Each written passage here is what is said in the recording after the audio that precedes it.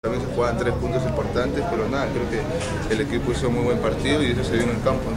Siempre sale con la motivación, me imagino, defender los colores del Boys, pero con el llamado a la selección sentiste algo especial. Sí, sí, para ello yo soy hincha del Boys y la motivación siempre está. Ahora con el llamado a la selección es una motivación muy grande, ¿no? La verdad que es algo especial para mí, la primera convocatoria y nada, con humildad, con sacrificio y seguir trabajando duro.